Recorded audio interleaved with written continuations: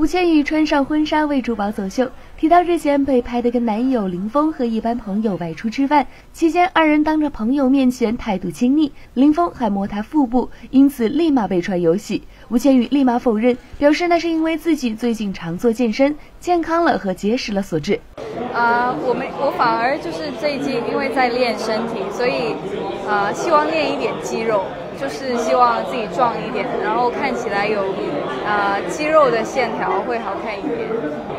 啊，我是没绝对没有怀孕的，就是大家不要担心。然后啊，谢谢大家关心，但是我觉得私人的时间的事情，我就不想在工作的时候多说。而被问到是否不介意在其他人面前与林峰也这么亲热，吴建宇就表示私人事情不回应。呃，其实我觉得就是普通吃个饭就是那么简单，所以也没有什么好好回应的。